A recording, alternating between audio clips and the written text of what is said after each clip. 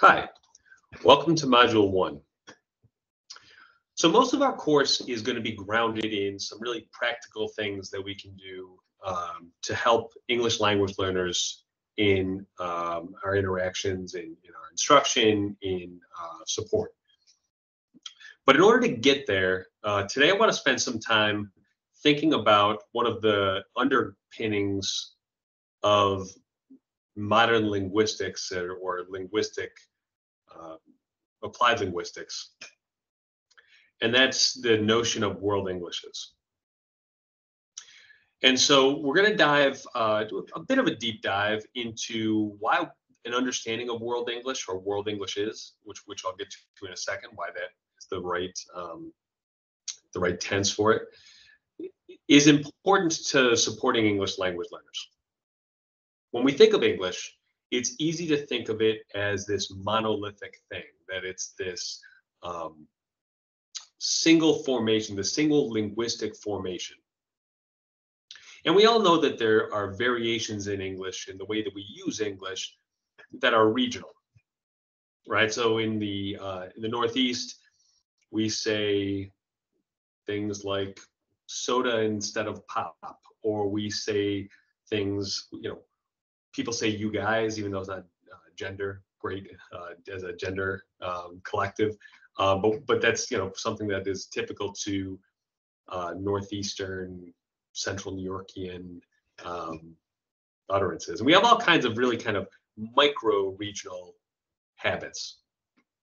If you look like you know down south, people are have a tendency to say y'all instead. Uh, and that's part of their linguistic tradition. That's part of their discourse community. Um, and, you could think of a million things that are like this that are, are very specific to the region. And, and I can point you to some some interesting uh, work that's been done on, on trying to contextualize American English in the ways that we speak in a different region of the country. But that's not really, um, those aren't really different dialects of the language, and they're not really different variations of the language. It's just different uh, patterns of discourse, word choices. The way world, a better way to understand world English is, is understanding that uh, the way that we speak English, the way that somebody produces the English language, varies based on where they learned it, what their first language was, what how many additional languages that they know. And that this notion of this central academic English is problematic, especially problematic in instructional spaces like the one we work in. But it's also in, uh, problematic culturally. We're, we're going to try to peel back some of uh, the rationale for that today. So I'm going to share my screen.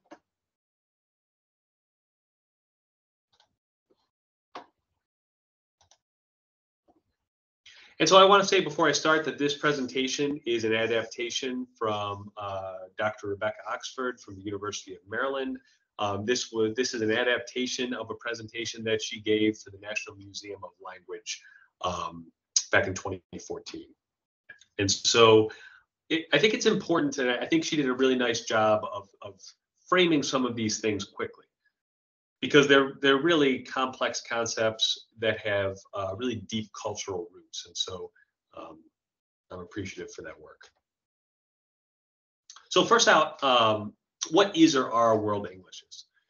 Right, and so this notion of a world English or or multiple world Englishes, which is which is technically more correct, even though Microsoft Word puts a squiggly under it every time I write it. Um, but it's generally considered this umbrella term that encompasses a whole bunch of different ways of speaking English. And so this uh, covers regional dialectical differences. This covers syntax differences, which we'll get to. Uh, but it's an understanding of the ways that the practice of speaking English shifts based on the practitioner, based on the person who is speaking. And it really begins to ask the question who owns English? And this is the work that happens in, in um, a major way in the reading in our first module. What it discusses, what our first module uh, discusses, Jennifer Jenkins talks about um, English as a uh, the quote unquote lingua franca. And a lingua franca is a, a language of negotiation.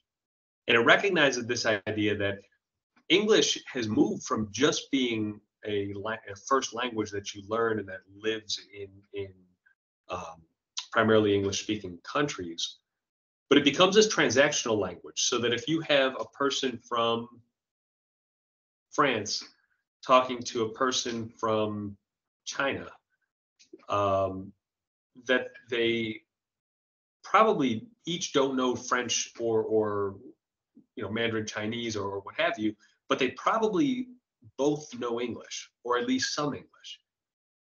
And in a space where you have people who uh, are both speaking English as an additional language, conversing in that additional language, the parameters change and the goals change and the way the language is used uh, also changes.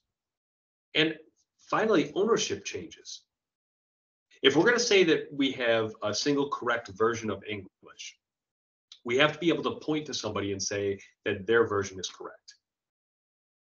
And so I'm not sure, even if we were to restrict this to, to um, primarily English speaking countries, if we would ever be able to agree on a common correct way of, of speaking English. A good way to think about, um, or a good context for understanding uh, world Englishes is Kachru's uh, circles. And so these circles, the inner circle, outer circle, and expanding circle, show the way that English uh, and, and the use of English has shifted. And so easy way to understand it, inner circle um, are primarily English first countries that were uh, settled by the UK, largely. Settled, occupied, settled by the UK, by UK um, settlers who came to live there as colonists, right? Um, the second circle, or the outer circle, um, were colonies of, of the UK. And so you think occupied, long occupied territories, Australia, uh, Hong Kong, India, Singapore, right? And so these were uh, were not resettled uh, people from Great Britain these were in fact um, these were in fact occupied territories. And so in those spaces, the people in those territories needed to learn English as a second language in order to transact, in order to um, do business with, in order to live in their occupied territory.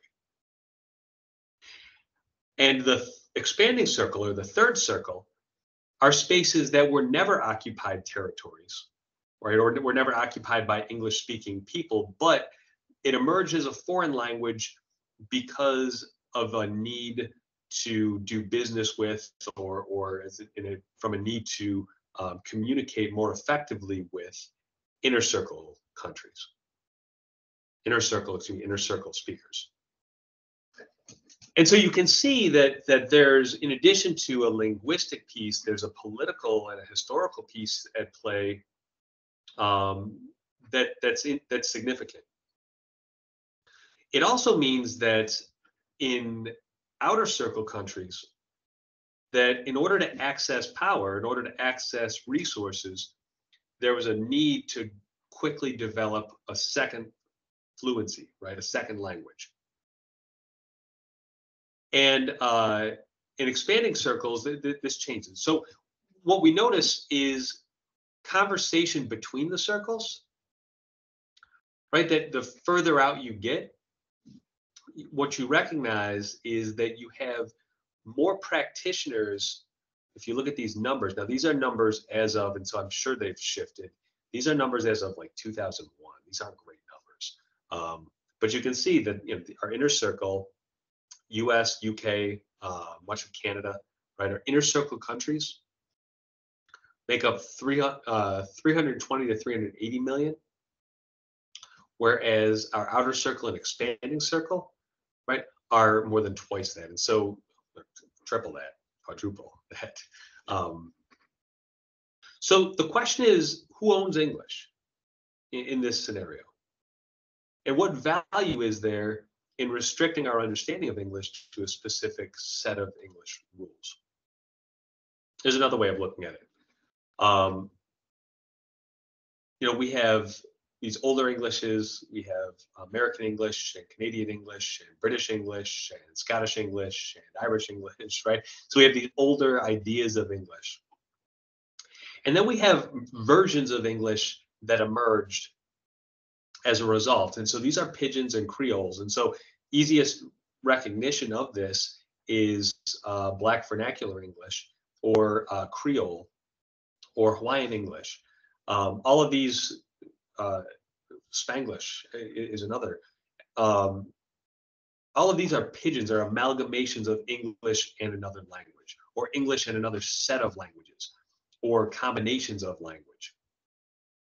Now, the irony of this is English itself emerged as a pidgin language between French and German, right? So you had uh, in 1066, William the Conqueror came and occupied southern England and, uh, and overthrew the lords and the nobility uh, in those little fiefdoms and uh, forced the people to the best they could to speak French. And so you had these mostly German-ish speaking, right? So it was um, Anglican, Anglo-speaking um, English inhabitants. And when the French came, you know, so our most of English is French and German, and there's all kinds of really interesting um, linguistical characteristics of our language that that um, I won't get into, but I certainly uh, certainly would like to and could. Uh, and if you're interested in having a conversation, um, you know where my office is. But ultimately, um, when we look at it in this way, that even in the inner circle, we have so many different um, iterations of the language. And what we primarily point to when we talk about English, when we talk about English usage, is this uh, is this notion of academic English that is published in textbooks. And what this does is it privileges people who speak a uh, speak from an, in a discourse community that closely mirrors academic English. But what's even more important, now I want to recontextualize this because I don't want to get too far outside of our norms, but what's even more important um, in this regard is the fact that when you're learning English, that if you want to learn English effectively and if you want to adopt the, the ideas of English quickly, then you need to have a communicative objective, right? So the people need to understand what you're saying. And so for instance, some languages uh, come from um, a different syntax tradition, right? So when we speak English, we say, I go to the store, right? So we have uh, subject, verb, object. In many languages, um, you're shifting and you have an object subject verb to the store I go. Um, and so when somebody's learning English, it's not just that they're learning the vocabulary of English. They're not just learning the, the verbs and they're not just learning tenses. They're also trying to rewire and shift their syntax.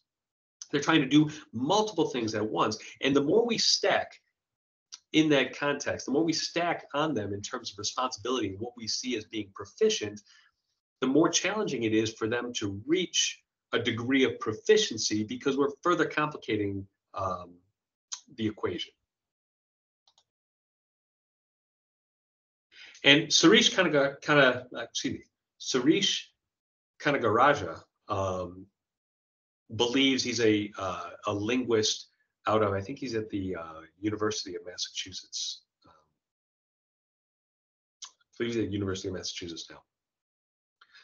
Um, believes that we're moving beyond the three circles. Essentially, he says that the circles are leaking, that we don't have this uh, this very neat kind of um, series of levels of English. That what we really have is we have uh, this amalgamation. We have blurry edges in those circles, and you know the ways that technology connects people, for instance, in call centers, we all speak with outer circle speakers, expanding circle speakers, every time we pick up our phone and recognize that we're calling a call center. And so we have inner circle individuals reliant on outer circle varieties of, of English. And we're transacting with those outer circle. We also have people who are living in India and living in China who are teaching English who have never visited or spoken with a first circle speaker. We have people from uh, from South Korea, for instance, uh, many linguists from South Korea teaching English to people in, uh, in, in other spaces, in other linguistic spaces.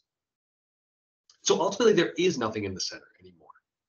That the notion of a center really is something that's constructed by textbooks. It's constructed by the academic kind of um,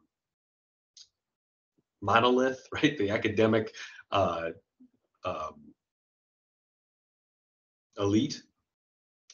Uh, people who um, are really are interested in preserving this notion of English that in many ways doesn't exist in many places. People construct English as it suits their purpose in a given context and at a given time. And your ability to use English effectively stems from your ability to clearly communicate your idea to another practitioner, to another, to another English speaker. And really, when we're talking about supporting English language learners, when we're talking about English in a college setting, what I think we all need to think about, and when I say we all, I don't mean just you know in our in our academic support role, but what we all need to think about, I think, is is what are we requiring of students and what do we consider proficient, and how are we supporting students? Now, for many of us, this is this is the norm. When we talk to students who speak in accented English or who uh, aren't quite at the proficiency level where they need to be, we recognize their world English. We recognize what they're coming to the table with, and we help them to build proficiency. But what I think is important is to get as many people as possible thinking about the ramifications of judgments of proficiency. Can we understand the topic? Can we understand the ideas? Uh, are the students advancing in their in their ability to communicate complex um, perspectives and opinions in our sessions or in the classroom. Um, and we already kind of talked a bit about this, but there's also, you know, it, this is something that even though maybe we think in, in our local community that this has already been an, an objective that's been achieved, there are many spaces where um, people prefer native English speaking teachers um, to non-native English uh, speaking teachers uh, for language instruction. Even though non-native English speaking teachers, uh, NNESTs or NNESTs, um, have the background of having learned the language, can provide, uh, in many cases, a clearer path to how to acquire the language um, because they because they've gone there. And yet, um, there's still that there's still a bit of that favoritism.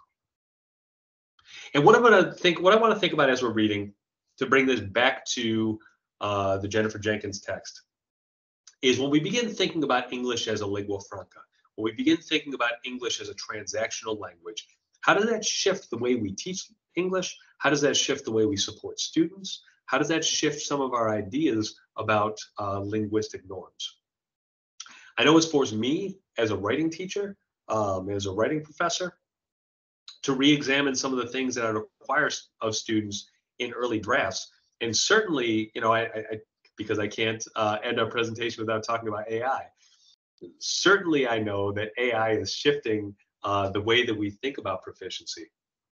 And specifically, um, the most important thing at this point is being able to communicate a unique idea clearly and synthesize multiple perspectives and bring your own lived experiences to the table.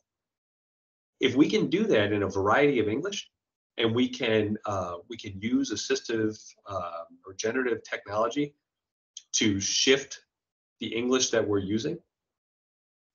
I, think that that's in there's many arguments. I'm not going to go and say that that's correct, but I think there are many arguments for um, using the technology in that way because it makes us clearer.